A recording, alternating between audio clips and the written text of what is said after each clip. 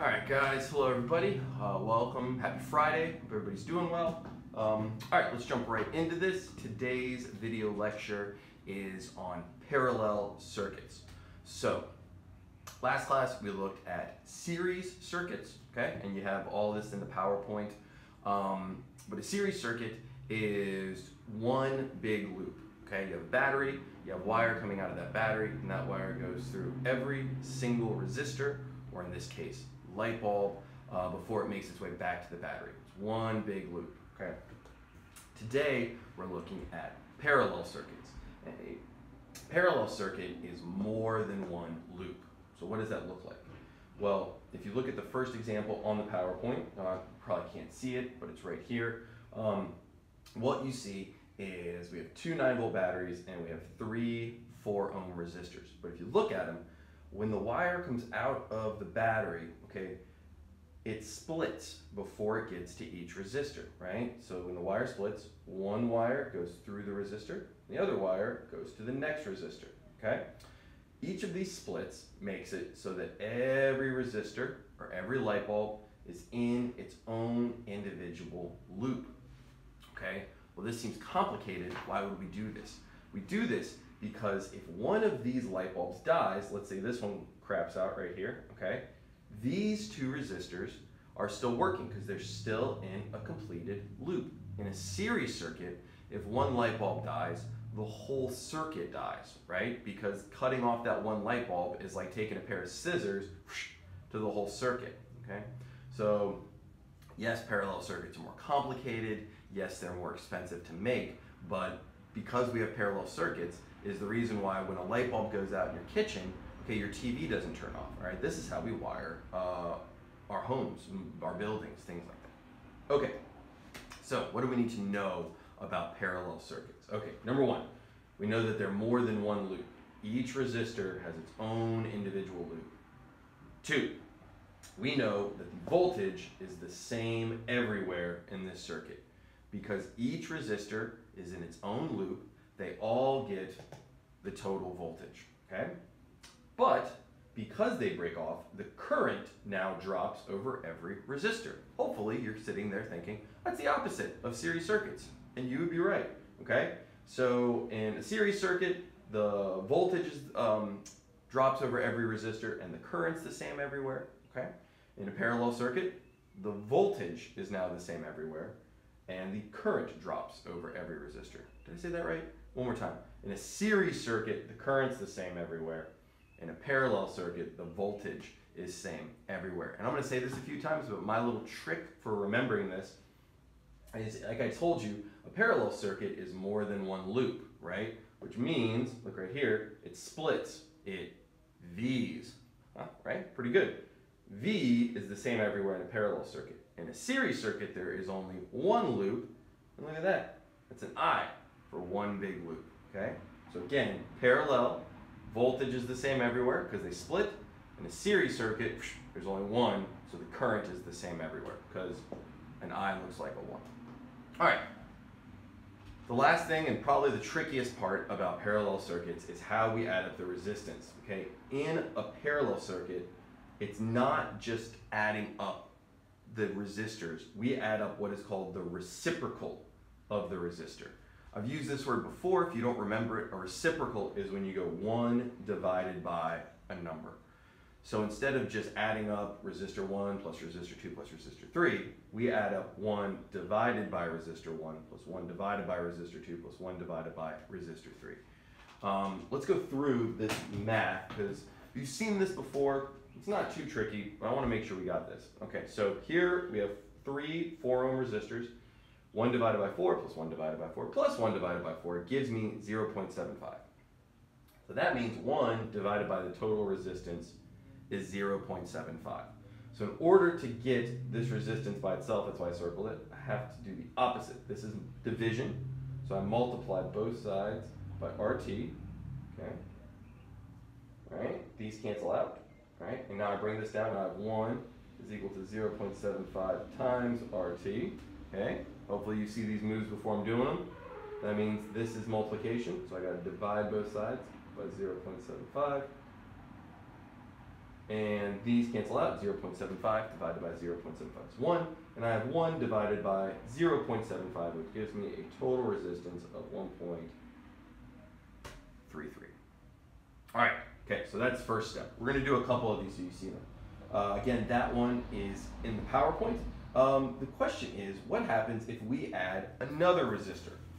So let's keep our original three 4 ohm resistors and let's add one more. Okay, let's do this. Let's say our total resistance is now to be four 4 ohm resistors. Okay, so that looks like this. Again, you can use your calculator to add all these up, but if you've ever known one fourth is also known as a quarter, if I have one, two, three, four quarters, put that in your calculator and you will very quickly see that that equals one, okay? Um, so now I'm gonna do the same thing. I need to get this RT out of the bottom of this fraction. So I multiply both sides by RT. And again, RT just means the total resistance, right? RT divided by RT is one. I bring this down, one equals one times RT, okay? I wanna get R by itself, so I have to do the opposite multiplication, which is division. So I divide both sides by one. One divided by one is one, and one divided by one is, oh, you guessed it, one ohm. Okay, this is an ohm, by the way. Sorry about my poor drawing. Um, okay, so what did we just see? When we had three resistors that were four ohms, we had a total resistance of 1.33. We added another resistor, okay? And what happened to the total resistance? It went down. That's another weird thing about parallel resistance. The more resistors you have, the less total resistance there is. It's kind of wacky, right? That's the opposite. In a series circuit, right, remember, they just add up. The more resistors you add, the more resistance you have. And this is why it's very important to know if something is wired in series or parallel. If it's in parallel, the more resistors you add, you're actually decreasing the total resistance, okay? You're increasing the total current. You're making them go faster, which we'll get to in a little bit. Anyway, let's look at some examples.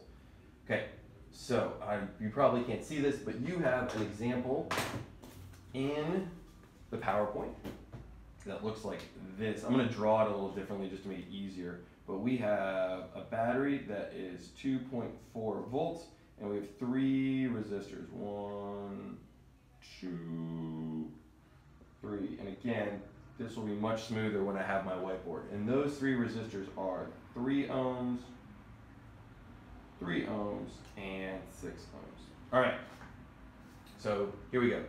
2.4 volt battery, two 3 ohm resistors, and a 6 ohm resistor, and everything's in its own loop so we know that it's parallel. All right?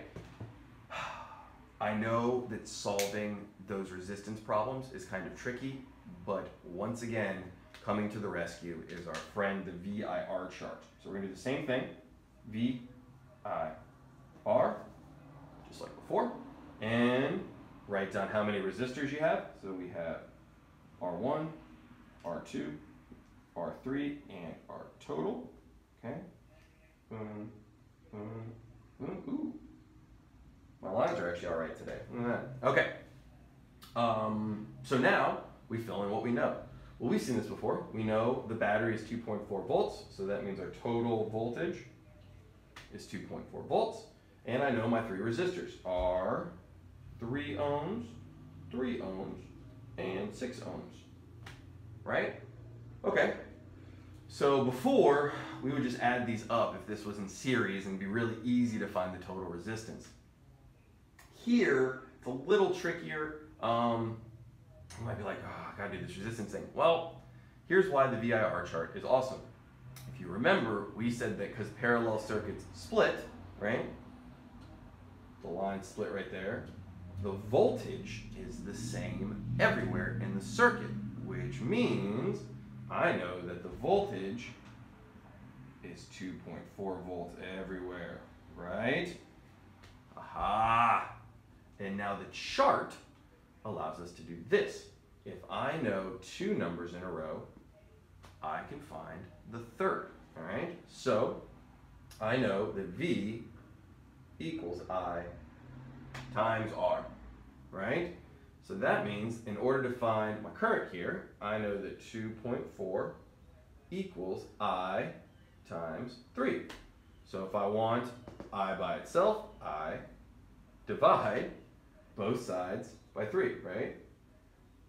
Division is the opposite of multiplication. 3 divided by 3 is 1. And this gives me a current. So I'll put a little cap on that so you can see that that's an I, not a 1. Current equals 2.4 divided by 3, which is 0.8 amps. And again, go, go to Google. I don't know if you can see this. There's a calculator right there on Google. Literally just Google the word calculator. There's a calculator on your phone, all right? And it can do all of this stuff. So now I know my current is 0.8 amps, all right? Well, I can figure out the other two, right? So look here, this one's three ohms, which means it's the same.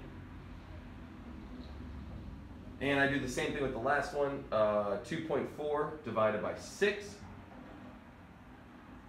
gives me 0.4, all right? Almost done, we got two more boxes left here at the bottom.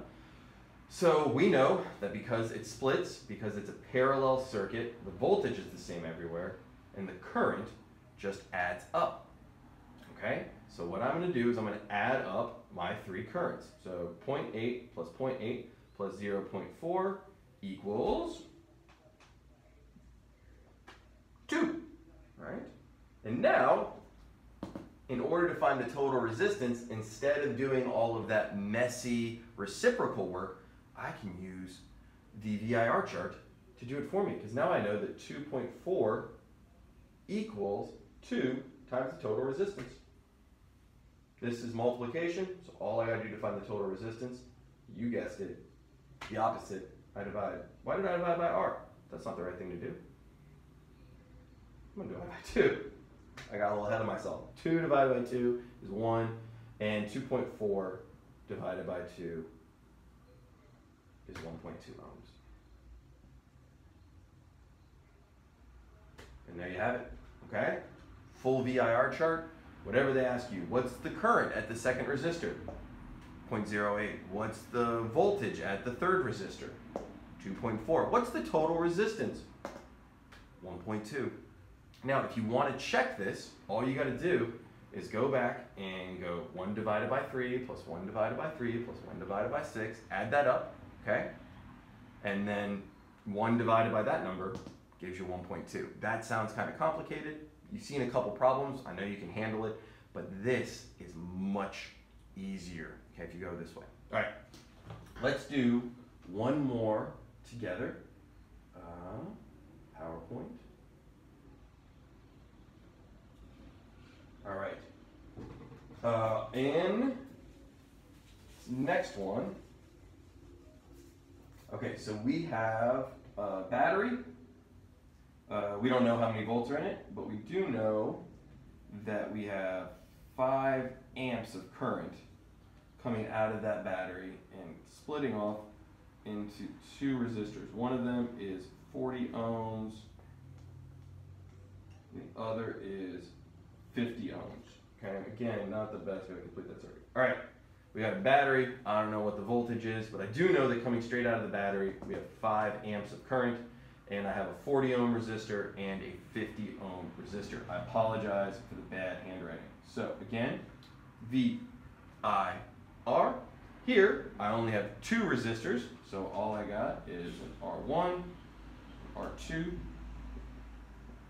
and a total Ooh, lines, eh, not so good the second time. That's actually much worse, but that's okay. Okay, so let's fill in what we know. We know, coming straight out of the battery, I have five amps of current, which means that is my total current. So my total current is five amps. And then I know the resistors are 40 ohms and 50 ohms. Now, here in this problem, unfortunately, we don't know the voltage. We only know the total current, and the current is not the same everywhere. The current adds up, which means that we're going to have to figure out our total resistance. That's okay. It gives us another chance to go over this. So, again, uh, the t- 1 divided by the total resistance equals 1 divided by the first resistor, which is 40, plus 1 divided by the second resistor, which is 50. I go like this back to Google's. Okay, I type that in parentheses. 1 divided by 40, close parentheses, plus parentheses, 1 divided by 50, close parentheses, enter. That gives me 0.045. All right, so I know that 1 divided by RT equals 0.045. Okay, and what I'm going to do is I'm going to multiply both sides by RT. Right, get that out of the bottom. Okay, now I have 1 divided by 0.045 times RT. Put that down there so you can see it. And again, to get the RT by itself, I have to divide both sides by 0.045. Okay? 0.045 divided by itself is 1. Anything divided by itself is 1. So I know that my total resistance is equal to 1 divided by that number, 0.045, which in this case, 1 divided by 0.045 equals an RT of 2, excuse me, 22.22. All right, very nice. Okay, if you noticed here, one of the ways that I like to think about it and the way that I add this up, since I'm doing this a while, is once you go and find this number, when you go 1 divided by the first resistor plus 1 divided by the second resistor, when you have this number, what you're really doing is you're just taking this number and going 1 divided by that. That's your total resistance, okay? So if that's helpful, if it's not, and you don't get what I'm saying, follow the math, okay? The math will set you free, but if you can remember that, once you go one divided by your resistors, you just go one divided by that number, that's your total resistor. Okay? All right, but now, now we have two numbers in a row, which means all we gotta do is V, sorry, this sideways drawing is not very good. V equals I times R. So to find the total voltage, I just multiply five by 22. So I go times five, and that gives me a total voltage of 111.1. Bam.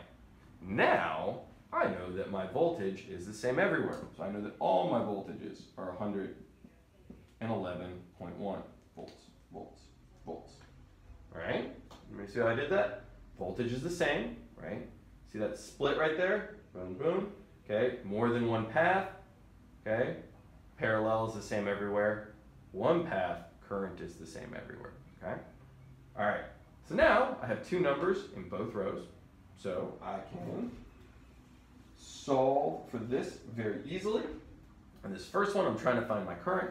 So I know that 111.1 equals the current times R. And I know I put a little cap on it here and not there. Sorry for the inconsistency. I just like it that it looks like a 1 up here, and I don't want it to look like a 1 down there. But uh, this is easy. Oh, I know my R. Come on, Mr. Mars, get together. All right, so this is multiplication. So all I have to do is divide both sides by 40. 40 divided by 40 is 1. And I equals 111 divided by 40, which is 2.78. I round up, and this is amps. Okay? I do the same thing for the second one, except instead of 40, it's going to be 50. So this gives me 111.1 divided by 50 equals 2.22 amps, and voila, completed VIR chart, everything you need to know about the circuit. Um, if you go through it, you can always double check everything. Again, in a parallel circuit, your voltage is the same everywhere. Your currents add up, and sure enough, 2.78 plus 2.22 equals 5, so check. And then we already added these up right here, okay? You can do the reciprocal math, put it back into that equation, double check. And then you just go across each row, okay? 40 times 2.78 is 111.1, 50 times 2.2 is 111.1, and 22.22 times 5 is 111.1. Okay, All right, so that is the content. Using this, you will be able to answer all questions on your DOL for today. Um, I've been looking at all the questions you guys have been putting in the comments and on your attendance form, so I just want to go over a few of these things. Um, one, a lot of you guys are asking um, when we're going to go back to school. Um, the honest to God answer to that question is I have no idea. Um, I don't know. I don't think anybody knows. So um, stay home, stay safe, stay healthy, okay? Um, and again, if you have questions about this stuff, please keep them coming. I really appreciate it. I'll answer them as soon as I see them. Um, other questions. Somebody asked if they could see my dog in the video. Uh, the dogs are, I'm not really sure where they're at right now, but hopefully in upcoming days they'll be bustling into the room. Um, somebody asked, oh, I should have written these down, shouldn't I? Um, okay, as far as how the Google site works, okay, if you're watching this video, you've probably figured it out. But every day, I will make a post, and in that post, there's an attendance form. Just fill out the attendance form. You can put any questions that you have for me there, and I'll try to answer them in these videos. Um, there's also going to be um, a link. So if you go to the classwork section, that is where all the makeup uh, Quizizz codes are. Um, somebody asked me when I'm going to be putting in those grades. That was a question. I'll be putting in those grades this weekend and then I'll be putting up another set of makeup quizzes or codes. I just want to make sure I don't miss anybody. Um, you will also find for each section, I have the PowerPoint up there. I've tried to go back through and annotate the PowerPoints so they have as much information as I can put in them. Um, and then there's going to be today's. So if you are in first, second, or fourth period, double check the Quizizz codes. It'll be on there. And again, if you have any questions, slow down the video, rewatch the video, um, take down these notes, write down the notes, and work out the problems on your own. I know you guys are going to be great. All right, so until next time, if you have any questions, uh, email me. It's rnorris at dallasisd.org or just hit me up on the Google Classroom. All right, guys, have a great day and a good weekend.